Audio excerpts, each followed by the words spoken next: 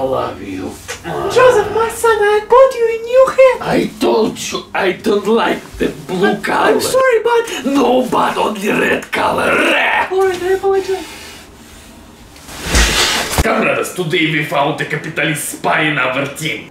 Ah, I like cold water. It's cold like cola at night. Бабушка, what a capitalist food is it? Peanut butter. Look at me. I am eating the capitalist food. If you don't like it, I have Coca-Cola.